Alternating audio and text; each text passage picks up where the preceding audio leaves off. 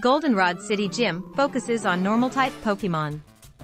You should have no problem defeating Gym Leader Whitney if you have a female Houndoom with you and a Super Potion or two. Houndoom is a great fit not only for this third gym but also for the previous two and also the next one focused on ghost types, who are vulnerable to the dark type that Houndoom uses. You can catch this Pokemon using Lure on Route 46.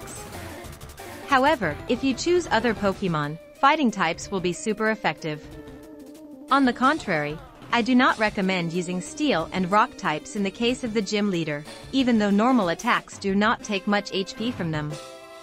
Whitney's Pokemon always have a defensive move that is effective against these Pokemon.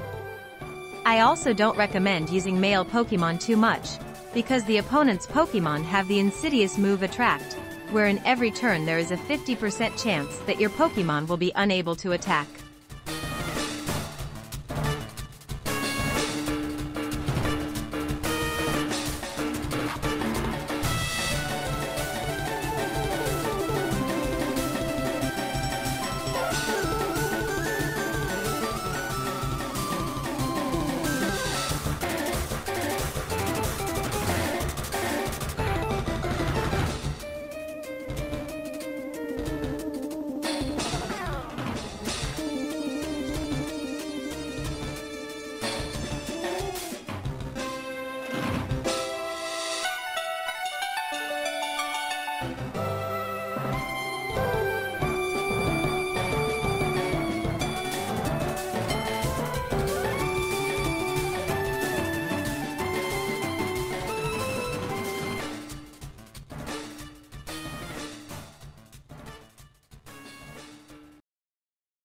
Oh,